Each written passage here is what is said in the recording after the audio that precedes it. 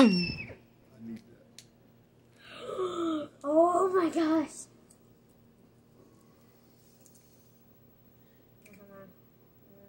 I'm gonna a llama. Probably headbutt me back though.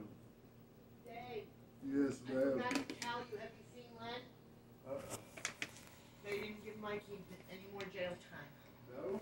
No, he's gonna have to serve like probably he doesn't know the Oh details yet, my probably gosh. five or six years probation, a lot of community Oh my Oh my service, gosh, I love the breathalyzer, Ah, you know, every other day for the drug test. And he's been going to AA every day.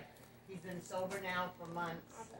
So thank God he's not going away Guys for it. realize trying to Yeah, exactly. That's cool. So isn't that What else do you got in there? He came in and A lot. I hadn't he hadn't said anything. Because he's been waiting and he hadn't I know called, he